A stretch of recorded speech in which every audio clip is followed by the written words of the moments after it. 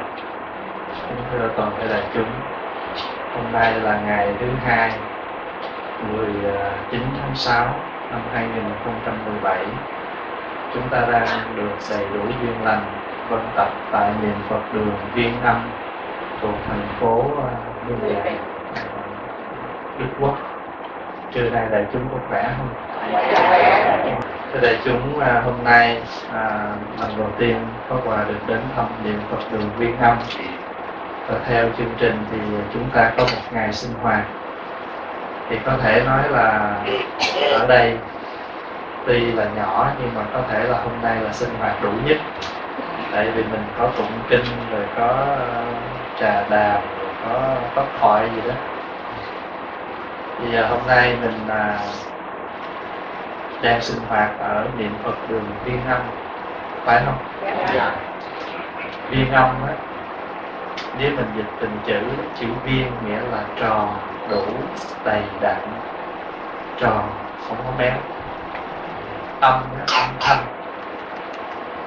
Mà trong Phật học đó, định nghĩa chữ viên âm có nghĩa là những cái giáo pháp mà khi chúng ta truyền tải đến cho người về cái mặt uh, nội dung về cái mặt hình thức đều phù hợp với chân lý và hợp với căn cơ của người nghe.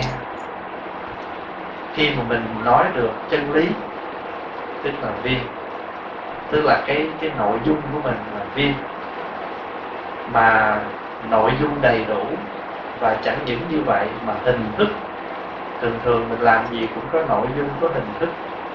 Mà hãy mà nội dung và hình thức mà đầy đủ thì gọi là viên âm ví dụ mình tụng một thời kinh. Và thời kinh của mình đó là hình thức đó, là có chuông mỏ chủ lễ người tụng quyển sách vân vân. Đó là hình thức. Nhưng mà tụng một thời kinh xong người tụng thấm nhập được lời kinh. Tụng không có phiền não thì cái đó là viên âm hình thức mình tổ chức một cái thời kinh rồi được rồi đó có chủ lễ, có người thỉnh chuông, có người thỉnh mõ nhưng mà mình những bài kinh đó, người tụng có thật sự tiếp nhận được lợi ích gì trong khi tụng cái đó là nội dung còn hình thức có thể mình có. Vậy bây giờ đại chúng nhìn ví dụ mình tổ chức một đại lễ phật đản, mình có thể ghi trên một cái bài thông tin đại lễ Phật đản sẽ được long trọng tổ chức tại đâu đó. Vậy thì bây giờ khi người ta tập hợp, người ta thấy long trọng quá, nào là lân múa, nào là trống kèn, nhưng mà người Phật tử đến dự đại lễ đó tiếp nhận được gì trong cái buổi lễ long trọng đó? Thành thử mình phải cẩn thận. Đôi khi chúng ta tổ chức hình thức chúng ta có. Nhưng mà xong rồi thì người ta giữ cái lễ đó rồi. Người ta chỉ đại khái người ta hiểu là lễ Phật Đản lễ sinh nhật Phật nhưng mà ta không tiếp nhận được nội dung của cái lễ mình muốn nói cái gì. Mình truyền tải được cái thông điệp gì của cái đại lễ Phật Đản đó. Cái đó quan trọng. Trong cuộc sống của chúng ta, ngày nào chúng ta cũng phải làm việc nếu chúng ta tham dự một cái một cái tổ chức, thì thường chúng ta có tổ chức lễ này, lễ kia. Nhưng mà đôi khi chúng ta quên. Chúng ta lo cái cái hình thức nhiều mà chúng ta quên cái nội dung. Và hai chữ viên âm nó quan trọng vậy. Viên tức là đầy đủ nội dung. Âm là có đầy đủ hình thức cho nên đó, nhiều khi mình nói chân lý là mình được cái phần nội dung. Nhưng mà người nghe không hiểu. Nghe xong rồi người ta không hiểu mình nói gì hết thì cũng ổn đi. Cho nên đức phật người có tám thứ âm mà trong kinh thường gọi là bát âm. Bát âm của phật là gì? Không phải là những âm thanh ví dụ như trống kèn à, sáo tranh gì đó theo như là ngoài đời là những cái nhạc cụ cũng có tám âm thanh. Nhưng mà bát âm của Phật là gì? Một gọi là cực hảo âm còn gọi là duyệt nhĩ thanh. Cực hảo tức là gì? Cực kỳ tốt. Chữ hảo là tốt đẹp. Cực kỳ cái đẹp. Âm thanh cực kỳ tốt và còn gọi là duyệt nhĩ duyệt là gì? Duyệt là vui nhĩ là lỗ tai. Mình nói sao mà người ta nghe mà người ta vui cái lỗ tai ta? Cho nên cái người thỉnh mỏ được gọi là duyệt chúng. Người thỉnh chuông gọi là duy na. Ở giữa là chủ lễ đó là có khi là chúng ta gọi là chủ lễ hoặc là chủ sáng. Chứ không phải chủ sĩ nha chủ sáng. Chủ sáng làm chủ, tức là làm chủ, hướng dẫn cái buổi lễ đó. Và cái người thỉnh mỏ phải thỉnh như thế nào? Âm thanh tiếng mỏ như thế nào? Ví dụ như cái gian phòng này nhỏ, thì cái tiếng mỏ của mình đó nó phải vừa chừng. Lớn quá, ta nghe chắc ta. Nhỏ quá, ta không nghe tiếng, ta không tụng theo kịp. Ta không biết cái cái âm thanh đó đang ở đâu?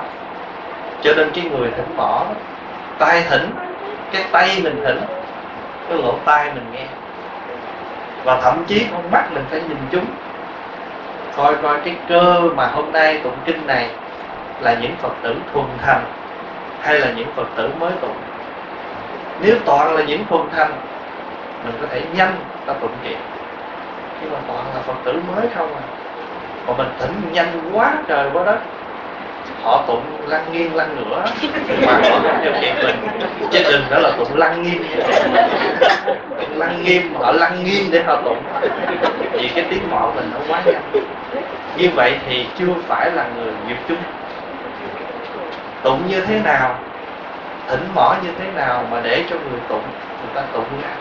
Trời hôm nay tôi thích quá, tôi tụng được rồi chứ còn mình tụng thỉnh ra trời ơi năm nay tôi tụng chẳng được câu nào hết.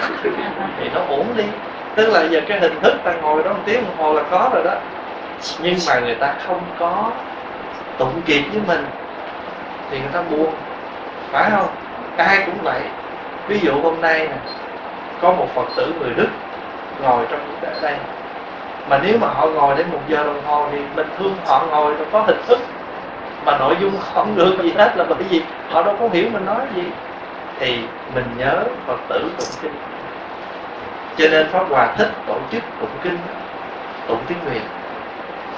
Tụng bằng hoàn toàn tiếng việt cho phật tử người ta nghe, người ta hiểu.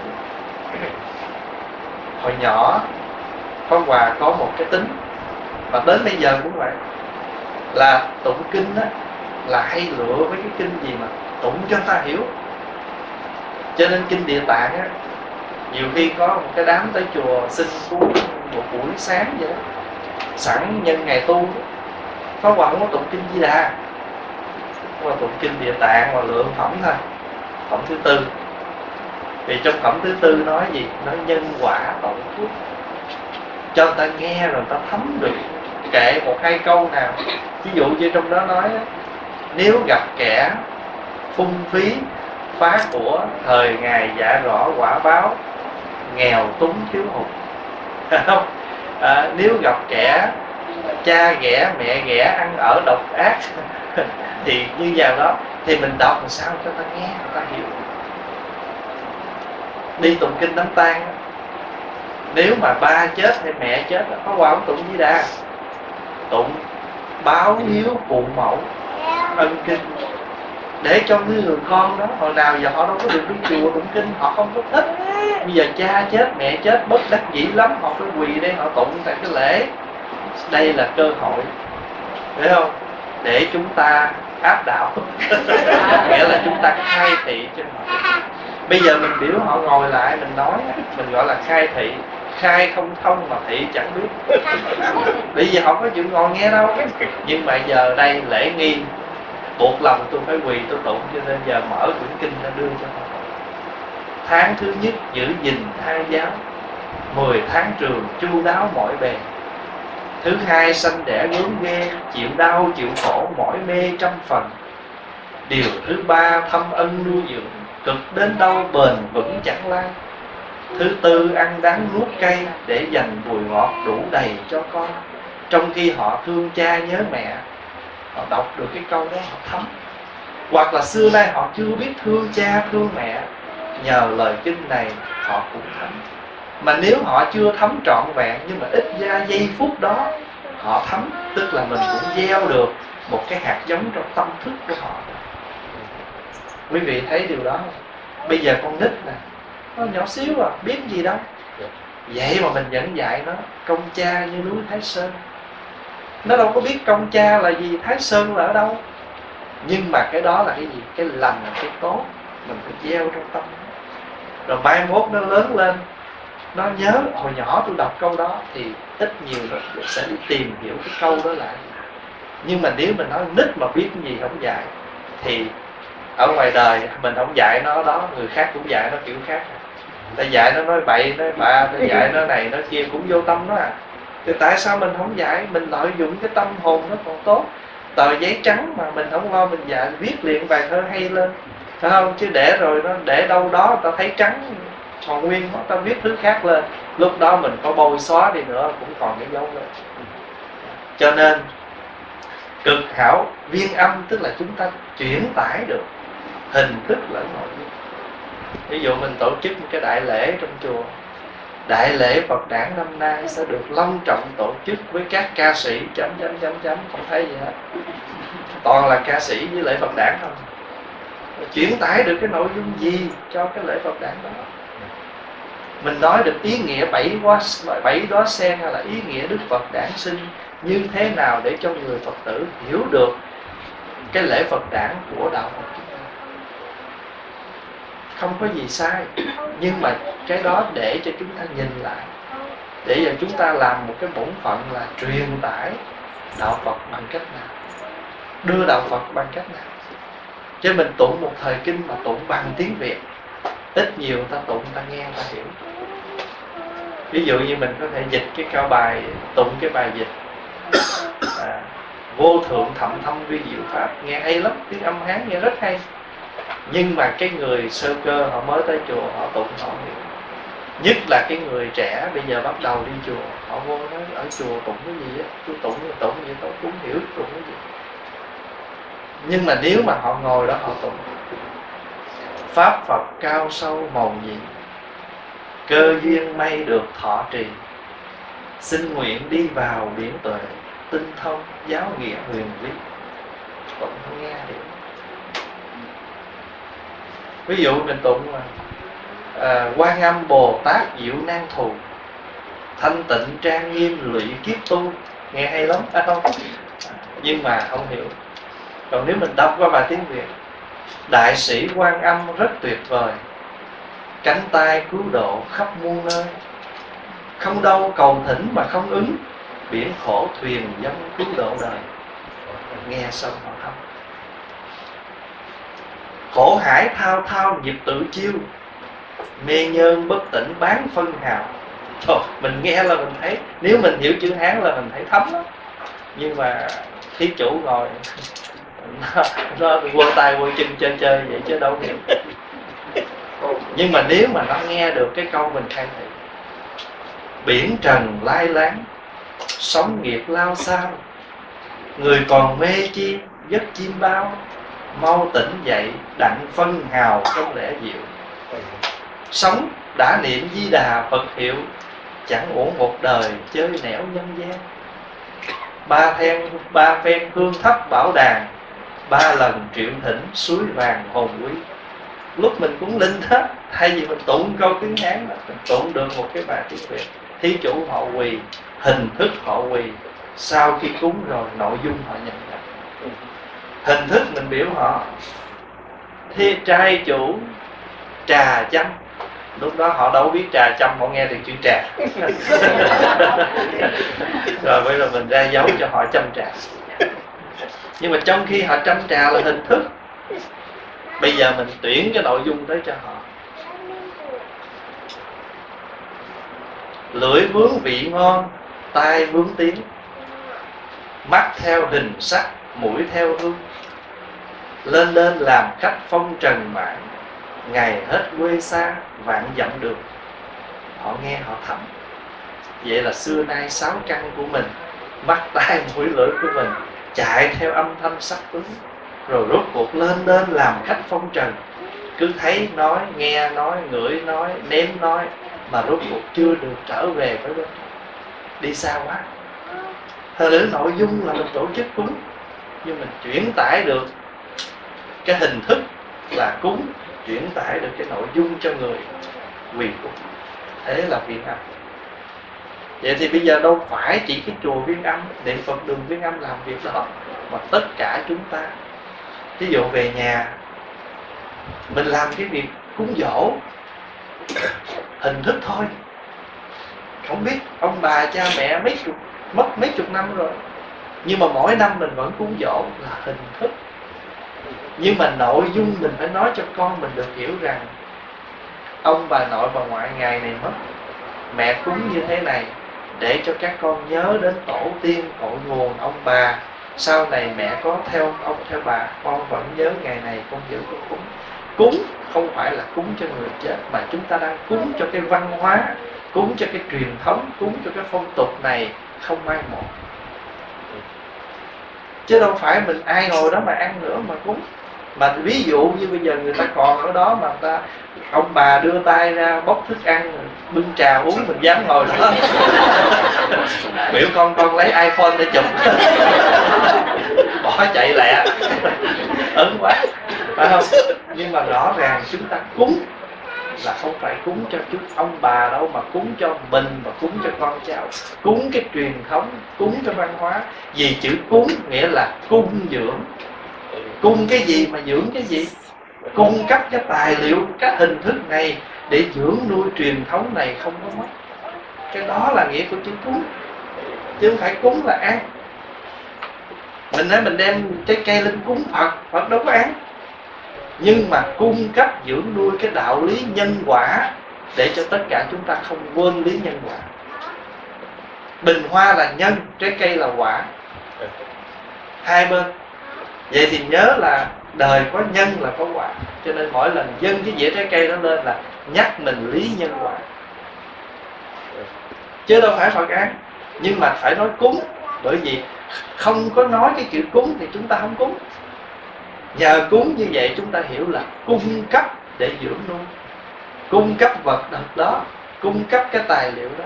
Ví dụ như quý vị nói bác thấy con rất thích đọc sách, đang tìm hiểu tài liệu này, bác cung cấp cho con tài liệu này. Khi mình đem một cái tài liệu mình cho một ai đó, mình nói, người này đang cần tài liệu này, tôi cung cấp cho người đó. Đó là cúng đó.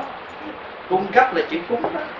Mà nếu người đó họ hiểu được đạo lý họ viết một cuốn sách, nhờ cái quyển mình đưa đó, cuốn sách đó ra đời, dưỡng nuôi biết bao nhiêu tinh thần của người như vậy không phải chỉ món ăn, mà món ăn luôn cả tinh thần. Cho nên cuộc sống của chúng ta mỗi ngày, cái cách mình sống trong gia đình mỗi ngày, cách mình nói chuyện với nhau mỗi ngày, cách mình hành xử với nhau mỗi ngày, đều là cung cấp để dưỡng nuôi con cháu của mình hình thức mình nói làm sao để chuyển tải nội dung cho nó hiểu. Vợ chồng giận nhau mà toàn là cung cấp cho nhau toàn là tài liệu mật không mỗi lần mà nó nghe cha mẹ mà bắt đầu chăm mồi lửa là nó đi kiếm chỗ nó ngồi. Nó nói sắp sửa rồi mình không cung cấp được cái gì cái sinh tố mà chúng ta toàn cung cấp độc tố. Ở đời mà có sinh tố là sẽ có độc tố mà nếu chúng ta không khéo nhận cái nào là sinh tố cái nào là độc tố, thì chúng ta có nói gì đi nữa thì cái độc tố nó vẫn lan tràn. Bởi vì chúng ta chưa nhận ra được. Mỗi ngày chúng ta hình thức như thế nào và nội dung.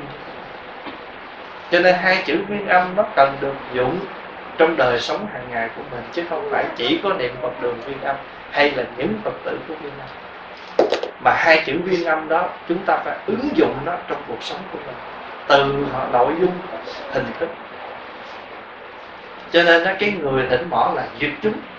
Tụng như thế nào, thỉnh mỏ như thế nào, phải quán xuyên. Giống như cái người điều chỉnh âm thanh. Họ phải đứng ngay cái dàn âm thanh đó. Khi người ca sĩ hay là người diễn giả nói, họ nghe cái giọng người này lớn nhỏ, họ phải chỉnh. Và lỡ cái tiếng đó nó vang vang khó nghe, thì họ phải chỉnh lại để cho tiếng nó rõ ràng chỉnh âm.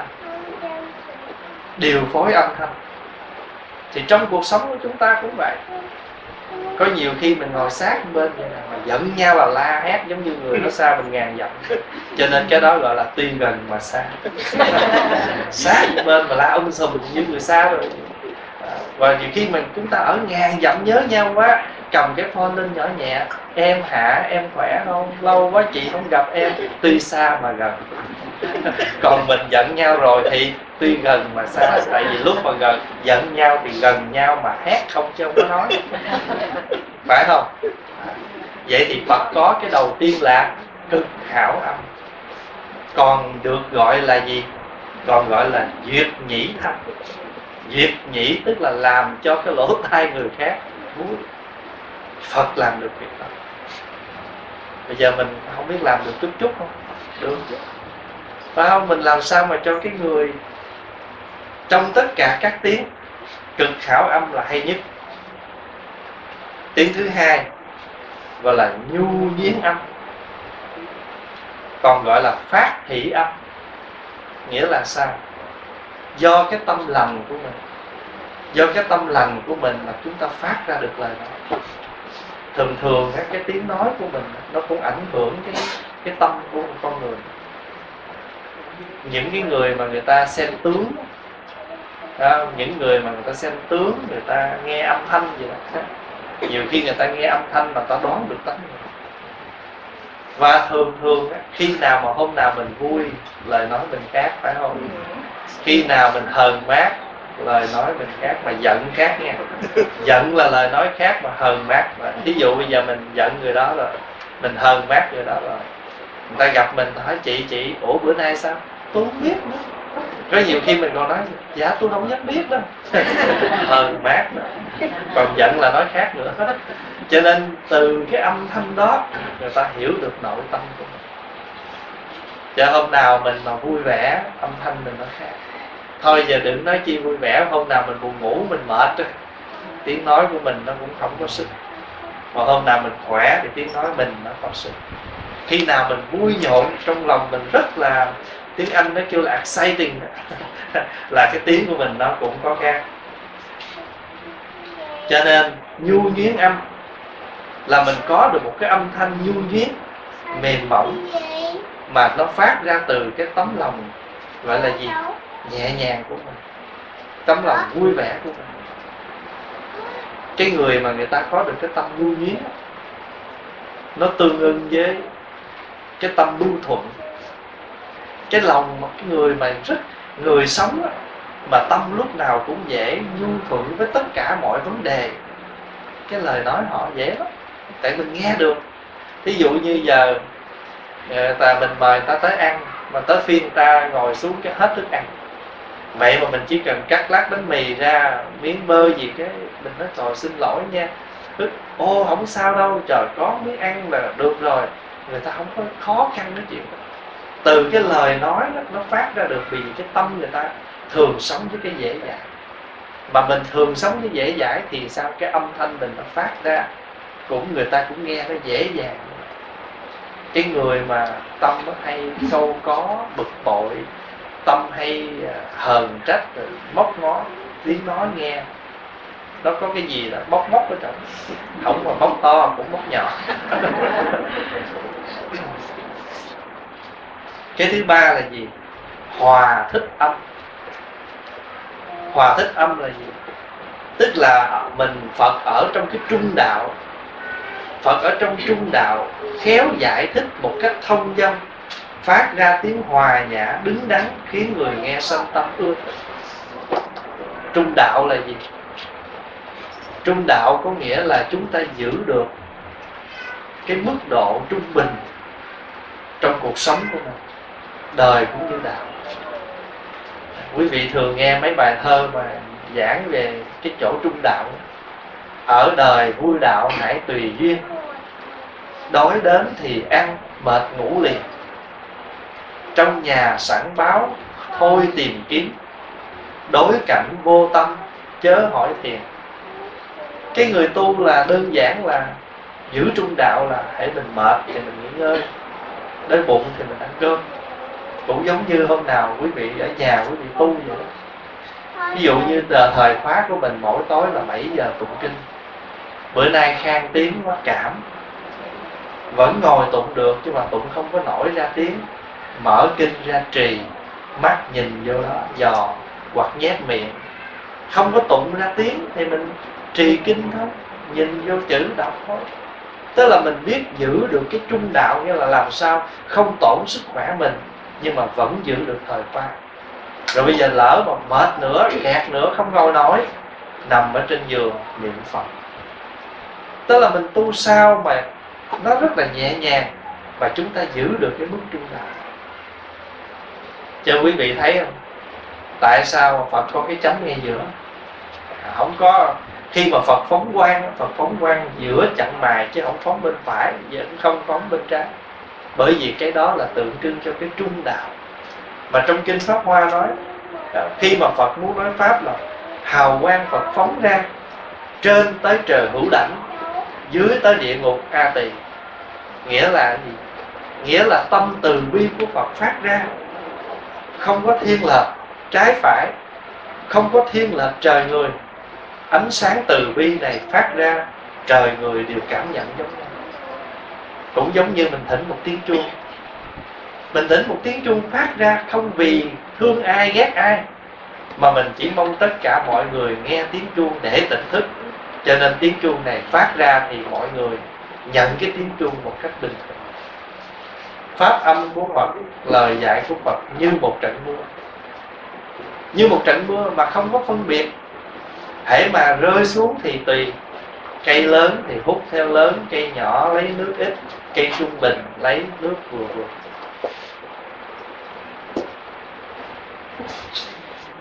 Cái đó gọi là hòa thích âm. Tức là luôn luôn giữ cái tâm trung đạo. Khi nào mà mình ứng xử với ai đó trong chùa, trong chúng. Có chuyện gì xảy ra, mình phải giữ cái tâm trung đạo mà chúng ta xử. Đừng có thiên lệch bên người này đứng về phía người kia, thí dụ vậy. Chân lòng trong lòng mình mà có một chút lệch về người nào là cái lời nói mình khác. Thì khi nào mình giữ được cái tâm trung đạo, mình xử việc mọi việc bình an như vậy, thì trong chúng nó yên. Chơi cho Phật có được cái gì là hòa thích âm quý vị thấy con cái trong nhà mình đâu có thương đứa nào nhiều, mà cũng chẳng ghét đứa nào. Đứa nào cũng là con. Nhưng mà hãy có chuyện thì cái đứa nào mà nó nghe lời mình, thì mình nói sẽ nói nhiều chút, là thiếu được cái trung đạo đó. Cho nên mình ráng giữ làm sao, ai sai quấy gì, chúng ta giữ được cái lúc trung đạo. Ở đây nói đến cái chuyện trung đạo là cái đường tu của mình. Hàng ngày mình tu hành như thế nào, mình phải biết được cái cách trung đạo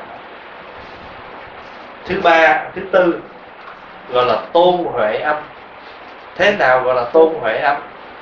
Địa vị oai đức của phật tôn quý, trí tuệ thông suốt khiến người nghe tôn trọng, trí tuệ được khai mở.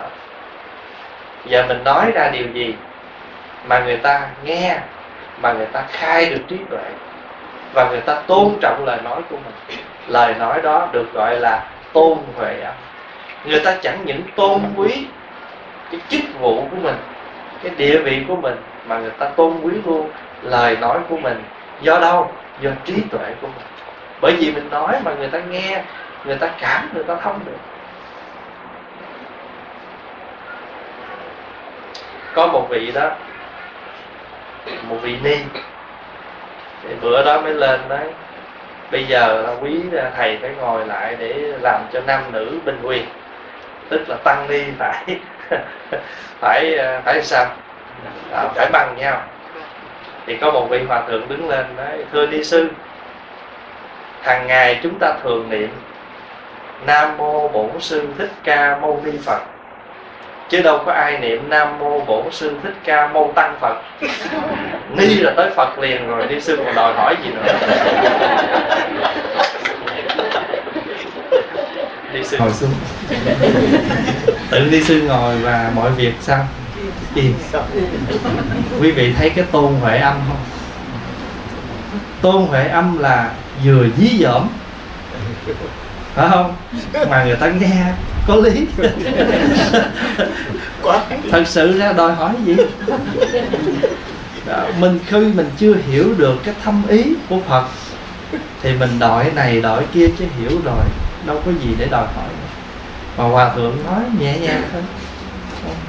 Thường niệm nam mô bổn sư thích ca mâu ni phật. Ni là tới phật chứ đâu có ai niệm mâu tăng phật. Mà ni sư đòi hỏi chi chuyện nữa. Thật rất là một cái lời nói rất là nhẹ nhàng đầy trí tuệ. Đầy trí tuệ. Cái đó là gì? Tôn huệ. Người ta nghe mà người ta kính kính cái gì? Kính cái trí tuệ kính được cái trí tuệ đó. Kính được cái gì nữa? Kính được cái lời nói đó. Có một hôm, hòa thượng ra ngồi ăn cơm với đại chúng. Hòa thượng mới thấy trong chúng ngồi ăn cơm đông lắm, đủ hết không thiếu ai. Hòa thượng nói, hồi sáng này có một cư sĩ ở ngoài sài gòn mới vô thăm tôi. Hòa thượng ngoài trung mà họ hỏi tôi câu hỏi mà tôi không biết đường đâu tôi trả lời. Họ hỏi, chùa này trúng bao nhiêu người? Tôi không dám nói sẽ biết nhiều nói? Tại vì tới giờ tụng kinh không thấy ai. Mà tới giờ ăn cơm sao thấy đủ? Tôi không biết nhiều tôi trả lời. Quý vị thấy được cái chỗ đó không? Kể từ hôm đó, không ai dám đặt tụng kinh nào. Tôn huệ âm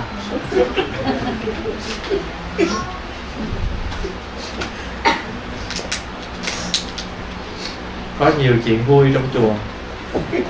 Mà mình mới thấy quý hòa thượng của mình hay lắm. Cái tuệ giác của quý ngài cực kỳ. Có những người mà người ta tới để người ta hiềm khích, người ta thách đố, các ngài nhẹ nhàng ứng xử. Được mà ở đây mình không tiện kể, không đụng chạm cho nên Pháp quà kể hai chuyện để đại chúng thấy thế nào là tôn huệ âm. Tức là nhiều khi trong cuộc sống của chúng ta chúng ta có những cái cái vui mà làm cho người khác người ta vừa phục mình mà vừa thấy một cái đạo lý như có cái ông đó ông tới gặp hòa thượng. Ông mà hòa thượng gì? Ai nghe ông chứ tôi không có nghe ông giỏi ông có chuyện gì ông nói cho hay á. Cho tôi mở mắt tôi chứ còn tôi thấy ông bình thường quá. Hòa thượng nói vậy đó. À vậy hả? Đạo hữu là đây tôi nói này nè. Ông đi tới. Không đạo hữu bước qua đây. Ông bước qua đây. Thôi thôi đứng. Đạo hữu đứng đây chặt qua đây. Em nói ủa nãy giờ đạo hữu làm gì vậy? Thì ông kêu tôi tới tôi nói vậy là ông nghe tôi rồi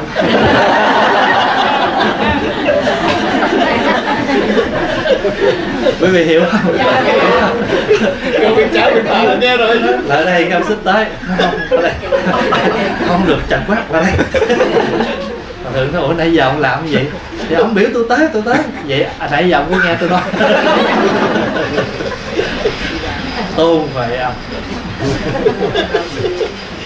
cho nên nhiều khi trong cuộc sống của mình á mình có những cái mà mình độ người một cái nhẹ nhàng như vậy mà người ta thấm mà người ta ở những cái chuyện như vậy. Nhiều lắm còn nhiều chuyện nữa. Nhưng mà Pháp Hòa xin thưa là Pháp Hòa kể như vậy để lại chúng thấy rằng đạo Phật á, nó không có phải trong kinh trong sách không mà nó bàn bạc trong cuộc sống của mình. Phải không? Dạ có nhiều khi mỗi ngày chúng ta ăn cơm làm việc nè có những cái người ta làm nó trật nó không đúng. Nhưng nếu mình tháo quát lên mình làm người ta khủng hoảng người ta sợ vì người ta mới tới với mình mà mà nếu mình nhẹ nhàng tự nhiên người ta nhận ra được mình chỉnh người ta nhưng mà trong cái nhẹ nhàng vô cùng. Không có gì phải gọi là là, là quá đáng hết và không có gì làm cho người ta tự ái cả cái đó là tôn huệ âm cái thứ năm gọi là bất nữ âm còn gọi là vô yểm thanh. Vô yểm là gì? Tức là làm cho người ta sợ. Chữ sợ này không phải là khiếp vía mà người ta thấy được người ta kính mình người ta sợ. Thường thường á, các thầy á, trong luật dạy các thầy có cái gì? Có cái gọi là oai nghi. Thì trong luật định nghĩa chữ oai nghi, có oai khác sợ có nghi khác kính. Gọi là oai nghi đó, người tu phải có oai nghi, đi đứng có oai nghi, ăn cơm có oai nghi. Ví dụ như mình ngồi mình ăn cơm, không có chống tay trên bàn, không có để chén cơm xuống ngồi luôn vậy lúc nào chén cơm phải bưng lên ngang tầm muỗng mình ăn cơm, múc lên, vừa cái miệng mình. Chuối, thức ăn, phải sắn vừa cái miệng, không há quá lớn. Ăn chuối, phải bẻ hai. Bẻ hai rồi, lấy muỗng sắn ra. Còn không là bẻ nhỏ ra, cầm chứ ai cầm nguyên trái chuối mà. Cái mình nhìn cái người đó ăn chuối, là mình biết người đó có oai nghi có học cái phép tắc. Thí dụ như á, quý vị dọn trai tăng buổi chiều mình ăn cơm tự do không nói. Cho nên không có ai mà dọn trai tăng buổi trưa mà dọn bánh xèo hết. Tại vì ăn bánh xèo thì phải cuốn. Mà cái giờ trưa mà giờ quá đường là không lẽ ta y áo như vậy rồi săn tay lên rồi lấy rau cuốn. Cho nên là buổi trưa cúng dường trai tăng á, là phải dọn những món gì? Mà gấp dùng thôi chứ không có những cái món mà mình phải dùng tay. À, thí dụ lỡ quý vị làm quý vị muốn cuốn dừa bì cuốn gỏi cuốn thì cái cuốn gỏi đó phải cắt hai hoặc cắt ba ra. À, chứ không có để nguyên cuốn. Rồi các thầy nhiều khi ngại các thầy không có dùng. Mà ăn đồ cuốn cũng được ăn buổi chiều. Còn nếu buổi trưa dọn thì cắt hai ra để cho quý thầy giữ được cái cái oai nghi của mình trong cái bữa ăn của mình. Ví dụ vậy cho nên á, cái oai nghi á, cũng giống như cái lời nói của mình. Có nhiều vị người ta nói đơn giản, nhưng mà lời nói người ta nói ra làm cho người khác có cái tâm nể phục. Có cái tâm nể phục. Còn nếu không thì không thể được cho nên á, tại sao đức phật ngài đơn giản ngài đâu có nói gì, mà nhiều khi ngài nói nhẹ nhàng mà khai thị được cho người học trò.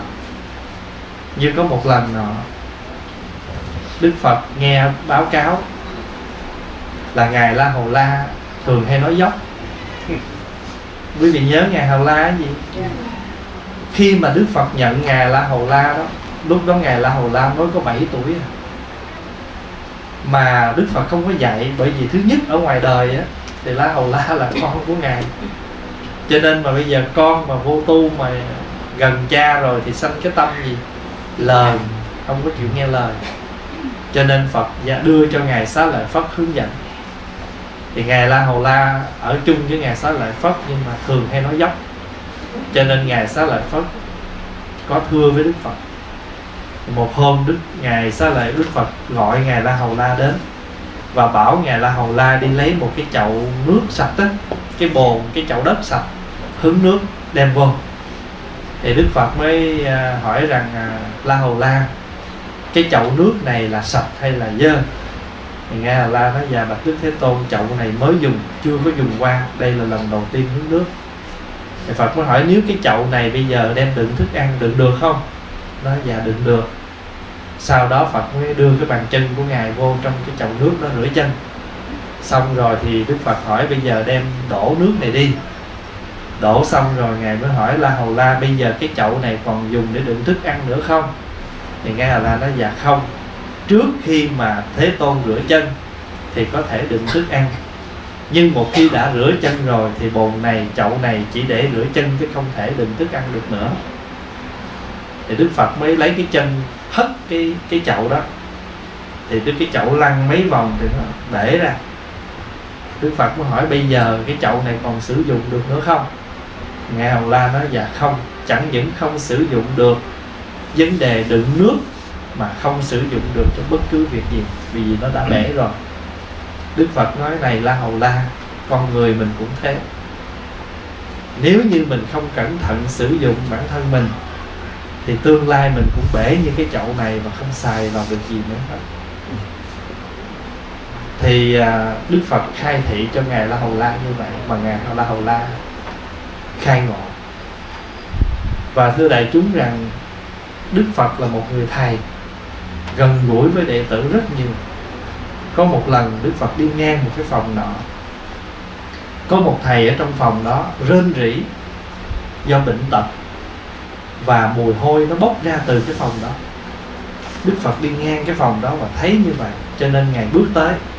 Ngài hỏi, ủa, tại sao thầy nằm trong đây nói và bạch đức thế tôn con bị bệnh con tiêu chảy kiết lỵ hôi hám vô cùng cả tháng nay rồi.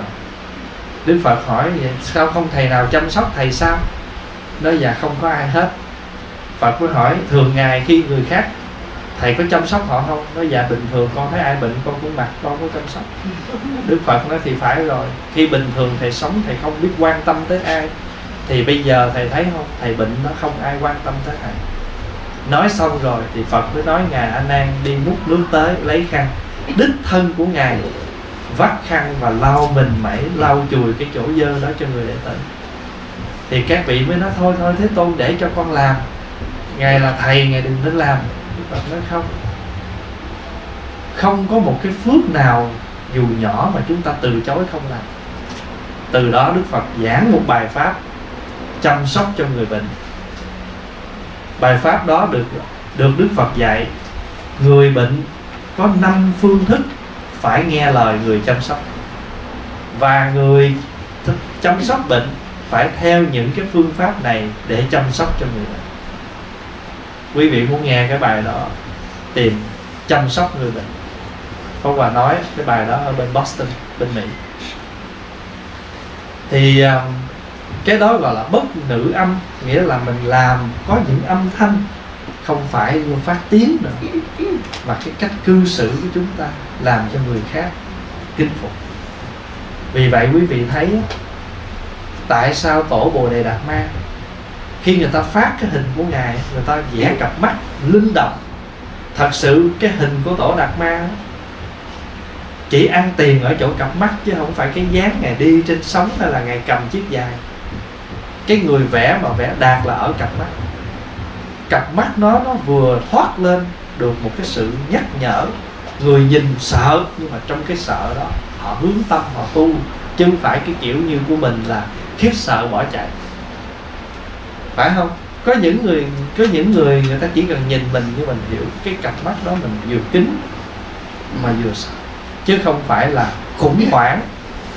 Chúng ta bỏ đi thưa đại chúng, âm ở đây âm thanh ở đây, có khi là lời nói, cũng có khi không phải là lời nói, chỉ là một cử chỉ thôi. Ví dụ như trường hợp đức phật đang ngồi, cầm hoa sen lên mỉm cười. Đó là một âm thanh chứ gì nữa.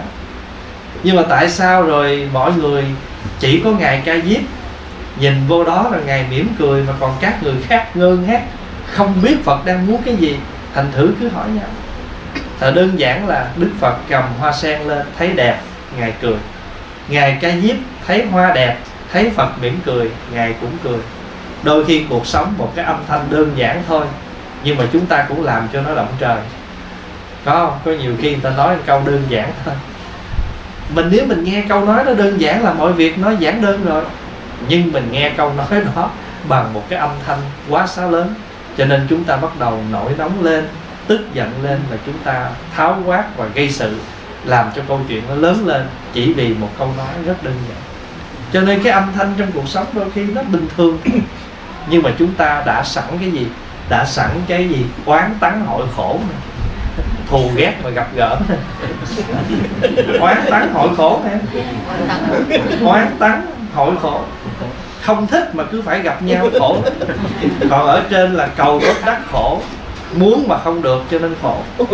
Phải không? Ở dưới này là ái biệt ly khổ, yêu mà xa phải khổ. Cho nên ba cái khổ gần nhau. Ba, bốn cái khổ trên là khổ về thân, bốn cái khổ dưới khổ về tâm. Cầu bất đắc khổ, quán tán hội khổ, ái biệt ly khổ, ngủ ấm xí thành khổ. Là thành thử ra chúng ta mới thấy rằng cái gì mà chúng ta đã không ưa rồi chỉ cần chờ người đó xịt một, chịch một chút mắt me, mình gọi là chịch mắt me. Là bắt đầu sao? Mình có nổ nguyên cây me. Tại vì chúng ta đã sẵn cái mầm đó. cho nên thường ngày mà không có ưa ai đó nha, cái âm thanh của họ mình cũng ghét. Tôi không thích ngồi gần người đó tụng kinh mà sao tôi dính hoài? Rồi, khi mình còn tuyên bố nữa nghiệp duyên gì quan gia gì á? Tôi tránh rồi hồi cái tự nhiên ở đâu đẩy đẩy tôi. Không có cái câu kêu thời kêu ghét cũng là trời cho cô đó à. thành thử quý vị thấy không? Cho nên bây giờ mình giữ cái tâm mình.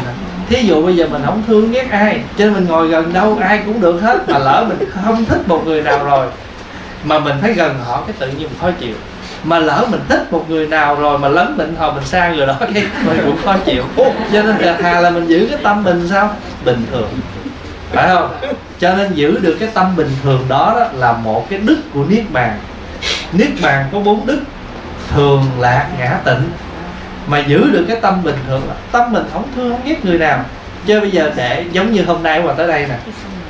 Pháp Hòa không biết vị nào ở đây. Cho nên Pháp Hòa học cái tâm Pháp Hòa làm sao? An ổn lắm. Quý vị biểu ngồi đâu có ổn đâu.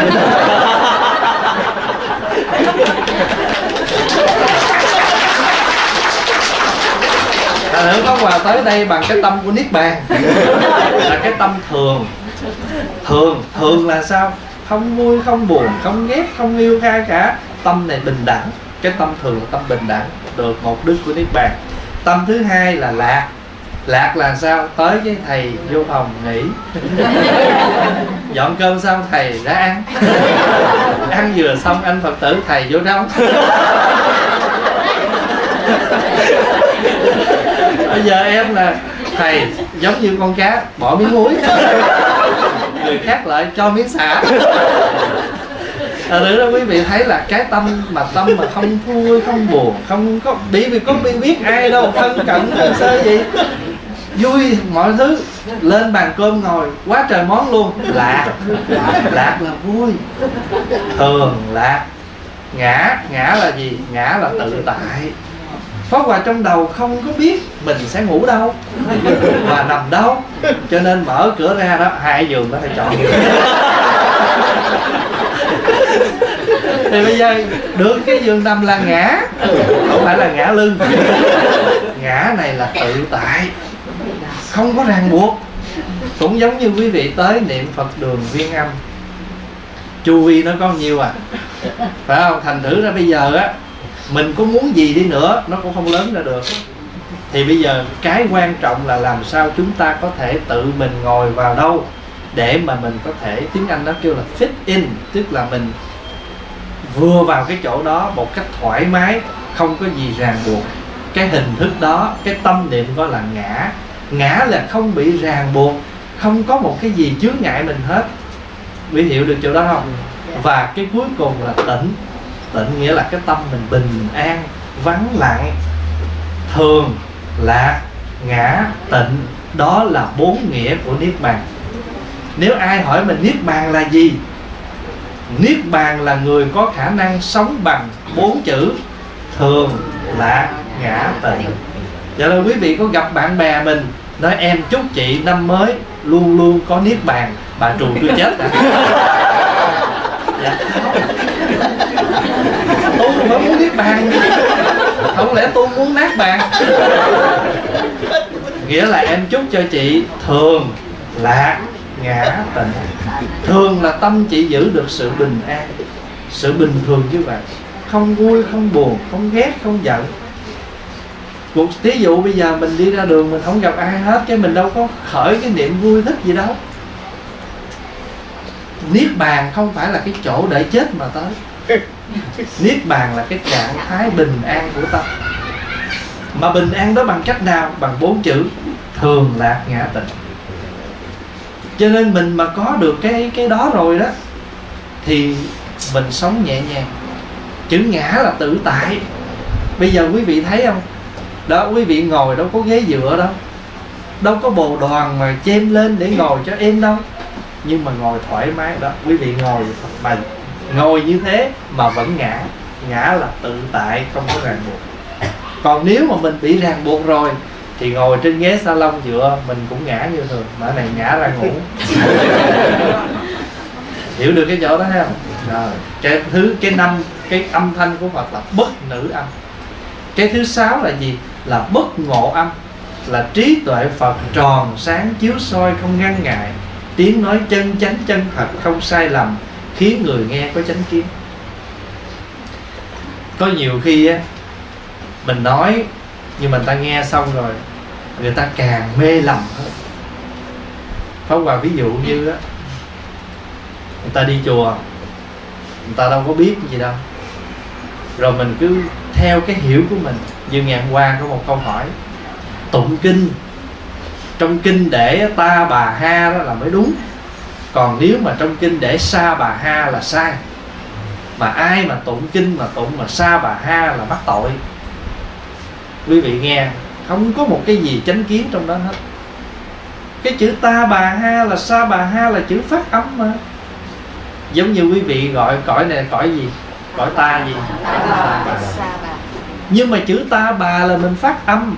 Đúng ra cái chữ mà mà mà tiếng phạn đó gọi là sa ha.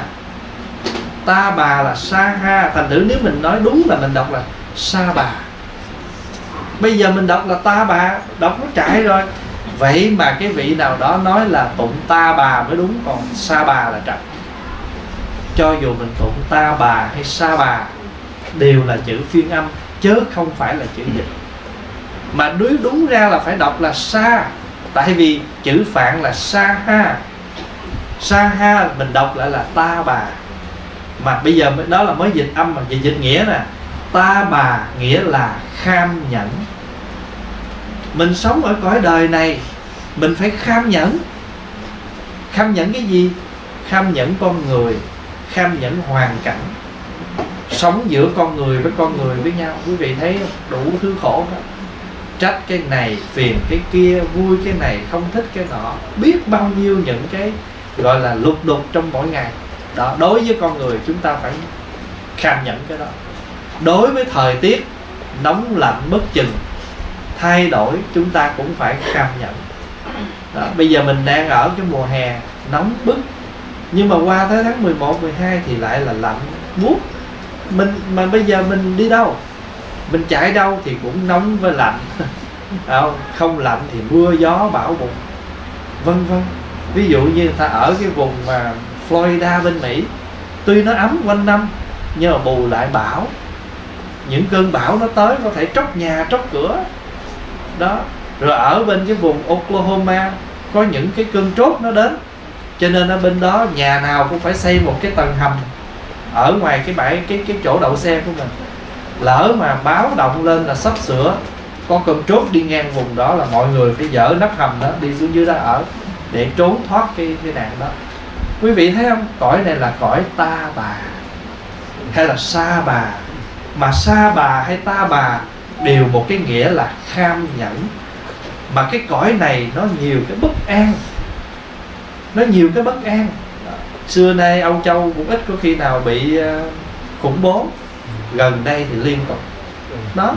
Vậy thì quý vị thấy không? Có cõi nào nó yên đâu? Thế thì không phải là ta bà sao? Đó rồi bây giờ ngay cả chúng ta gọi là đạo tràng là tu viện là tự viện là niệm phật đường vân vân. Nghe tên tưởng cái chỗ đó là tịnh độ thánh thiện nhưng mà vô đây thì cũng sao? Cũng bác sĩ với bệnh nhân tràn ngập. Cũng có những người là bác sĩ mà cũng còn những người hoàn toàn là một bệnh nhân mà bệnh nhân bệnh nặng nữa chứ không phải bệnh nhẹ nữa. Nhưng mà bây giờ sao? Nếu chúng ta chỗ nào cũng từ chối thì chúng ta không phải là người hiểu được chúng ta đang sống ở đâu. Sống cõi đời này là cõi của được đức phật gọi là cõi kham nhẫn. Anh đi đâu anh cũng phải kham nhẫn.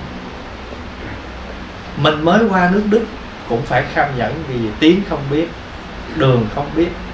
Mà đến đây người ta đâu có cho mình tập trung ta rải mình ra mỗi người một góc hết. Buồn khổ vô cùng nhưng cũng phải kham nhẫn mà sống để đến ngày hôm nay. Rồi giờ qua được cái cơn đó rồi thì chuyện khác nó đến cũng phải kham nhẫn. Rồi khi mình mới đến gia đình mình ở Việt Nam còn nghèo viết thơ liên tục. À, hỏi chị có khỏe không? Hai ba câu thôi là bắt đầu ở dưới chấm chấm rồi đó. Em đang làm này em đang muốn cái kia thế là mình nghe xong cũng phải kham nhận móc ra đi gửi. Rồi bây giờ ở bên đó, an, ổn rồi. Thì cũng chuyện này, chuyện khác nó đến. Hồi nghèo cũng có cái khổ của nghèo. Bây giờ có nhà, có cửa bắt đầu tranh giành. Chia của, rồi chúng ta cũng phải khổ. Cho nên, nếu mà đã là cõi kham nhẫn rồi, thì chúng ta phải làm sao cho nhau có được cái chánh kiến trí tuệ. Cõi đời này nếu chúng ta không hiểu đạo, chúng ta khổ dữ lắm. Bởi vì khổ từ thân cho tới tâm.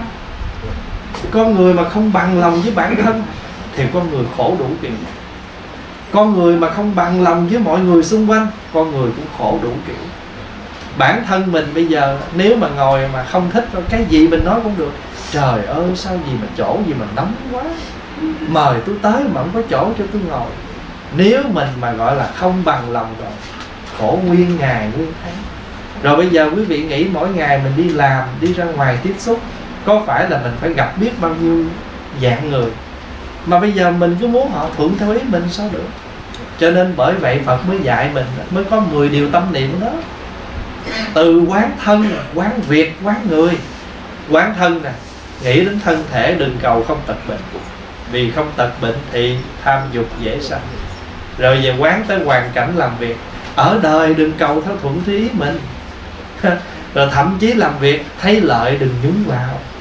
Thậm chí mình giúp người giúp người đừng mong, nghĩa là người ta trả ơn lại mình. Tại vì khi mình mong người ta trả ơn lại mình thì thi ơn mà có mưu đồ. Rồi đức phật luận cái 10 cái câu đó bằng một cái 10 cái câu ngắn gọn.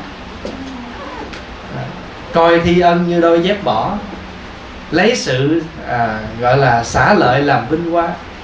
Thấy à, lấy cái à, lấy cái sự mà thất bại làm đà tiến thủ vân vân. Thành thử ra chính những cái câu đó là những cái liều thuốc để chúng ta điều chỉnh thân tâm của mình trong cái cõi ta bà này. Mình mà không có chánh kiến mình không thấy được cái lẽ thật của đời.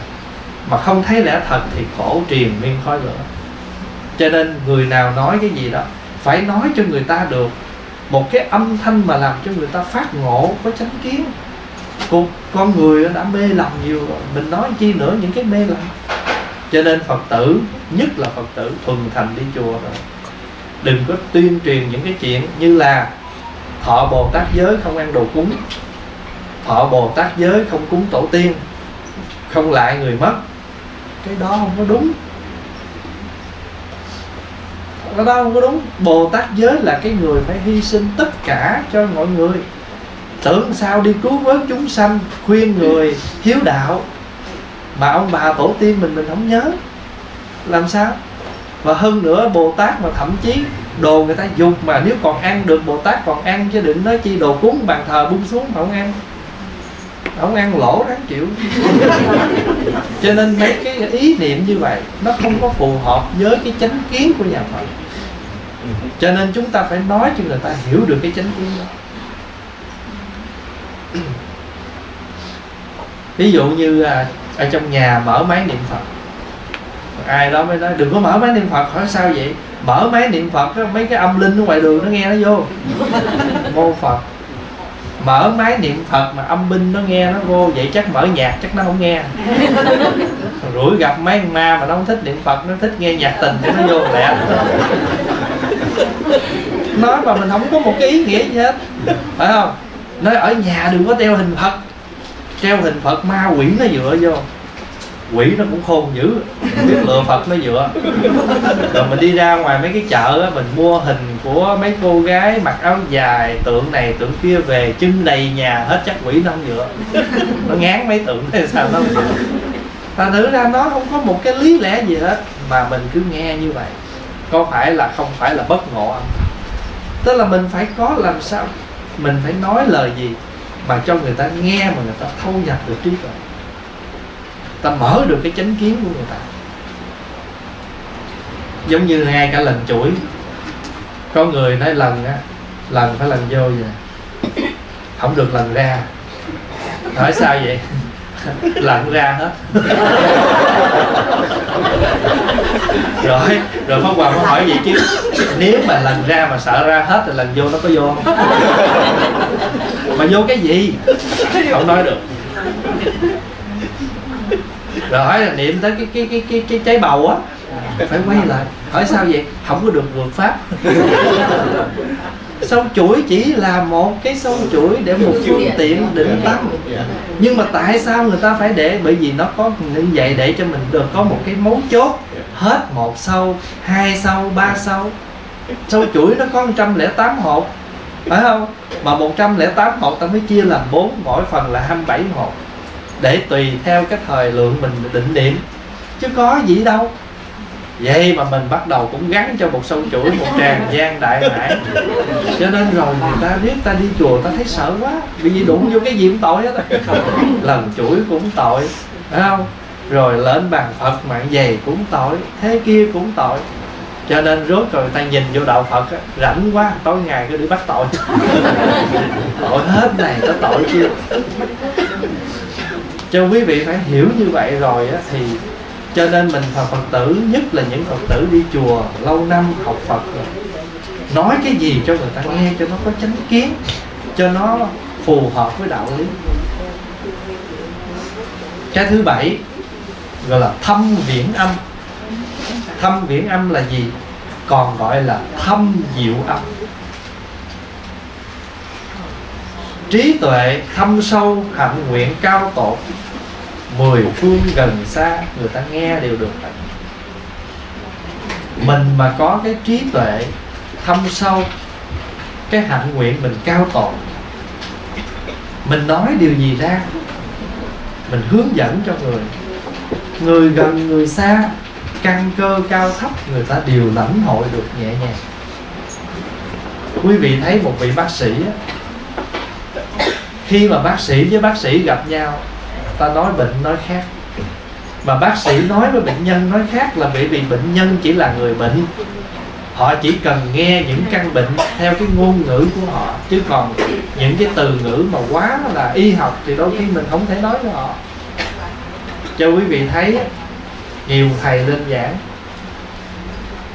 Quý thầy giỏi Phật học lắm. Nhưng mà quý thầy nói chuyện với Phật tử từ từ quý thầy hay dùng cái từ bình thường. Để cho Phật tử không có quá phải suy nghĩ về cái lời nói. Dùng cái từ bình thường. Ví dụ như bây giờ ở trong chùa, một là quý vị làm quen với chữ có quà hay để trong chùa ăn cơm á, chùa hay để buổi sáng ngủ dậy cái chiều trưa ở ở chùa gọi là bảo thức. Thấy không? Rồi cái là ngủ dậy xong rồi, gọi là tạo giác. Tạo giác là ngủ dậy. Rồi thì người ta đi à, làm vệ sinh chứ kêu tẩy tịnh. Mà mình ghi một lô mấy cái đó thì đôi khi người ta không hiểu mình nói gì ăn sáng cái kêu tạo thực. Không rồi rửa chén kêu tẩy bát. Rồi xong rồi cái thì à, tới giờ ngủ trưa đó kêu là chỉ tịnh rồi đi à, nè đi à, gì đi ăn cơm trưa là kêu quá đường. Rồi buổi tối là kêu à, tịnh độ tọa thiền. Rồi buổi tối đi ngủ á, kêu lâm thủy con người nào giờ chữ lâm chung thì tôi nghe thường mà tôi nghĩ là bây giờ mình phải sửa lại. Tạo giác là thức dậy. Tới giờ cơm trưa thay vì mình để là quá đường, mình có thể là ngọ trai hoặc là cơm trưa. Buổi chiều á, thường thường nhà chùa hay gọi là dược thực. Là ăn ăn thuốc bởi vì buổi chiều ăn là giống như ăn là nhớ là ăn để trị bệnh thôi. Ăn để cho mình đừng có bị đói cái đói nó làm khổ mình thôi chứ đừng có nghĩ tới ngon dở nữa. Chờ ở chiều mà buổi chiều mình thức ăn mà dư hâm lại ăn. Hãy là người thí dụ dư được ba chén cơm thì ba người được hưởng. Rồi người khác không có thì ăn bún ăn mì thí dụ vậy. Miễn sao có gì bỏ bụng ăn no buổi chiều được rồi.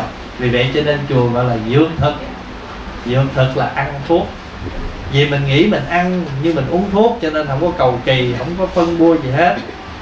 Mình có thể để dược thực hoặc là mình để ăn cơm chiều. Lâm thủy tức là đi ngủ đó. Thì bây giờ cái từ ngữ nào mình dùng? Một là mình muốn cho phật tử hiểu được chữ đó, rồi xong mình mở ngoặt mình nói thêm, cho ta hiểu được hai thứ tiếng. Vừa âm hán mà vừa tiếng việt. Và trong chùa thường quý vị thấy là hay để mấy cái chữ như vậy. Rồi đôi khi quý vị đọc quý vị phải chịu khó. Bây giờ mình học lời của phật á, thì phật nói ra điều gì thì nó hợp với căn cơ mà người xa người gần ta nghe ta hiểu. Và cái cuối cùng là bất kiệt âm gọi là gì? Hạnh nguyện không cùng tận. Ngày nói ra khiến người nghe tìm được cái nghĩa lý. Lời nói của phật mình luôn luôn nói ra thì người ta nhận được cái nghĩa đó cho nên thưa đại chúng mai mốt ở thí dụ quý vị có nghe pháp gặp một cái bất trắc gì hay cuộc đời tu của mình nó gặp cái gì khó đó, từ con người thì quý vị sử dụng ra bốn cái nó gọi là bốn cái y tức là tứ y tức là bốn cái điều mình nương tựa. Người nói nói hay mà làm không hay. Trường hợp đó đừng buồn người nói cứ lấy cái điều nương tựa thứ nhất là y pháp bất y nhân giờ tôi y cái pháp còn người nói không sao hết. Miệng nói chân lý là được. Thứ hai là lỡ mà người đã nói mà cái lời nói cái nghĩa thì hay mà cái lời nói nó chưa dở chưa hay nó còn dở đừng chấp vô cái lời nói họ hãy lấy cái nghĩa cái trường hợp đó gọi là y nghĩa bất y ngữ. À, rồi trong cuộc sống mình á người ta nói gì người ta có thể truyền đạt cho mình một cái cái học thức của người ta. Nhưng mà chúng ta phải có trí tuệ để nhận định cái nào nó phù hợp với mình. Cái đó gọi là y trí bất y thức. Ví dụ quý vị mở kinh nhật tụng á, để là nghi thức công phu khuya, khởi sự từ 4 giờ sáng. Rồi đọc câu đó dính rồi đó. Phải tụng 4 giờ sáng mới lên. Bắt đầu gia đình đang ngủ vậy á. Hồi ba, hồi mỏ lên. Nam mô lăng nghiêm hội thượng phật bồ tát. Tụng xong con nó ra nó chắp tay nó má ơi má tụng nhỏ nhỏ cho con ngủ được. Khởi sự từ 4 giờ sáng nhưng mà mình phải tự có trí tuệ mình nhìn ra là gia đình mình có có có có, có, có thể tụng được giờ này không? Bây giờ lăng nghiêm để vậy mình tụng 7 giờ sáng có sao không? Tụng 12 giờ trưa có sao không? Không có sao hả muốn tụng giờ nào mình tụng. Không có phải bắt buộc là cái thời đó phải tụng giờ đó nhưng mà đã là một nghi thức thì người ta phải đề ra cái căn bản giờ giấc hình thức tụng như thế nào để cho những người mới bắt đầu có cái công thức 1, 2, 3, 4 nhưng một khi chúng ta nhuần nhuyễn trong vấn đề này rồi chúng ta cứ linh động mà chúng ta uyển chuyển giảm bớt tăng giảm cắt xén miễn sao thời kinh đó nội dung có mà hình thức cũng có. Hình thức tụng hai tiếng đồng hồ nhưng mà tụng xong hỏi ra, hiểu gì không? Người ta không nhận được cái gì thì cũng uống đi. Tụng 15 phút mà người tụng xong ta nói, bữa nay kinh hay quá chừng. Tôi tụng tới đâu tôi hiểu tới đó, tụng tới đâu tôi hiểu đó. Tụng có 15 phút mà ta hiểu hết trơn. Đó. cho nên, qua cái ý nghĩa của chữ viên viên âm, thì Pháp Hòa thưa đại chúng là trong cuộc sống chúng ta, từ lời nói cho đến mọi gì, mọi việc gì chúng ta làm ngoài chuyên chở hình thức chúng ta cũng cố gắng chuyên chở cả nội dung để cho những người chúng ta có cơ duyên đến với mình có cơ duyên nghe mình người ta hiểu được chúng ta đang làm gì. Có vào ví dụ mình à, nấu ăn ngon. Nấu ăn ngon là nội dung nhưng mà quý vị cũng đâu thể múc đại lên, cũng phải lấy cái dĩa, cái tô gì đó tùy theo món. Mình múc lên rồi mình trang trí như thế nào để nó luôn cả cái hình thức. Hồi nãy bàn cơm cũng vậy, có quà thấy có những dĩa chả giò. Cái quý vị để cái hoa lan lên đó. Đó là nội dung và hình thức.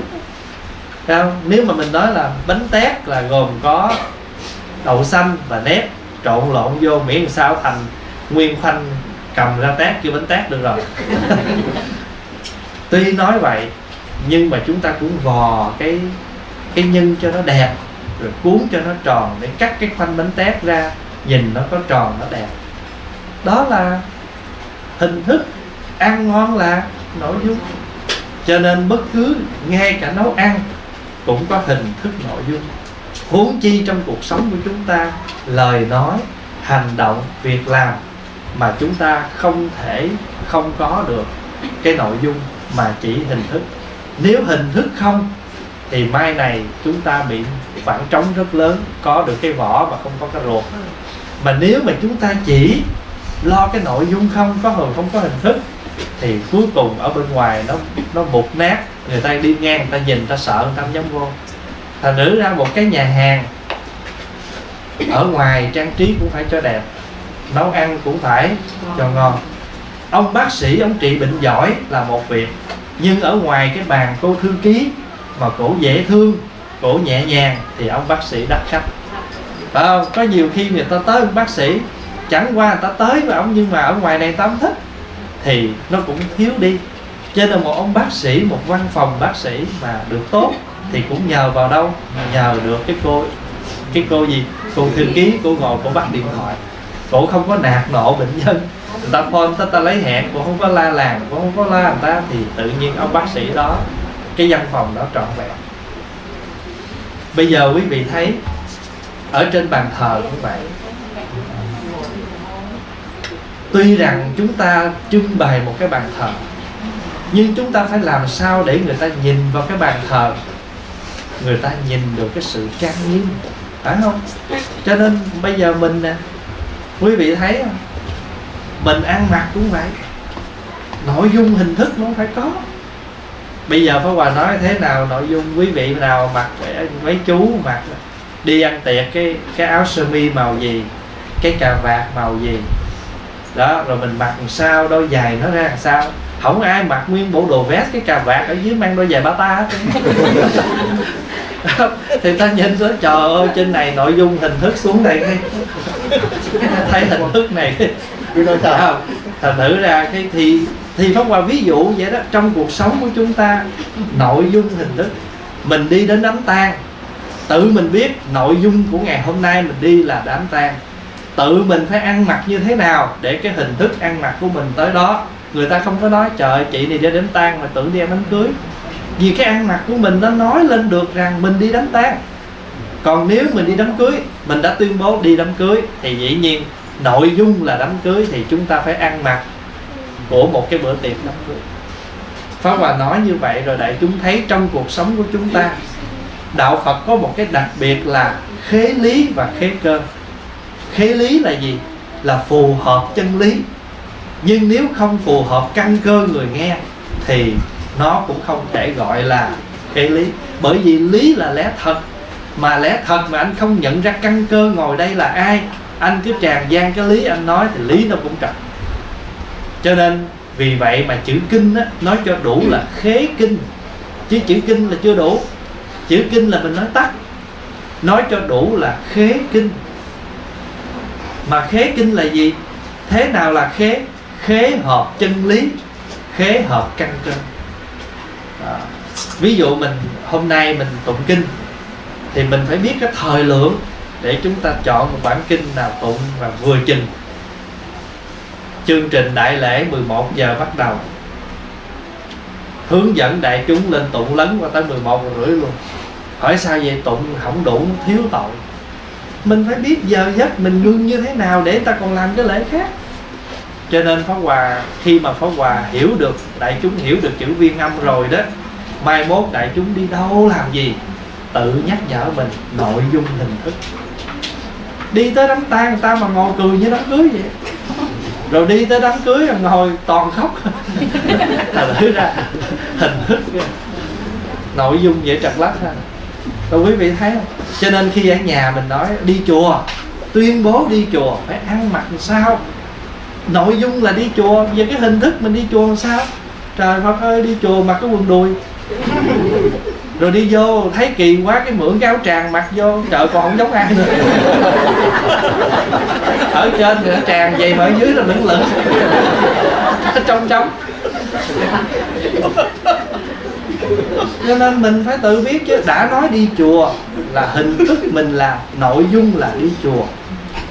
Trường hợp cái trường hợp du di người ta không biết, cái đó mình không nói. Nhưng mà bản thân của chúng ta, ở đây mà nói những người có đã có cái ý muốn đi tới chùa thì chúng ta tự động phải tìm ăn mặc nào để nó phù hợp với cái nội dung mà chúng ta đang đi tới là một ngôi chùa. Ông mc mình nhờ ông lên nói, hôm nay tôi nhờ anh lên làm mc cho đám cưới. Rồi ông lên ông nói dạ kính thưa hai họ, hôm nay đàn trai và đàn gái đồng ý kết hợp lương duyên. Chúng tôi đại diện cho mọi người chia buồn với gia đình. Chết rồi. Mà nữa là hình thức ổng đứng lên ông làm mc cho đám cưới, nói hồi nó cái vớt thật thử ra, mình giữ cái chức vụ mc ngay cả công mc cũng lên ổng làm mc mời giảng sư lên giảng. Ông lên nó kính thưa đại chúng hôm nay thầy giảng sư sẽ giảng về hai chữ vô thường. Dạ thưa đại chúng vô là gì? Vô là không. Thường là còn. Vô thường nghĩa là vô thường. Nghĩa là không có gì thường. Vạn vật sơn hà vũ trụ ông nói. Ông giới thiệu giảng sư không ông giảng hết. Nửa tiếng. Tới phim giảng sư lên nói kính thưa đại chúng hôm nay tôi sẽ giảng đề tài vô thường. Vô là gì? Vô là không. Thường là gì? Thường là thường còn không có gì thường còn, cho nên hôm nay tôi cũng không có gì để nói.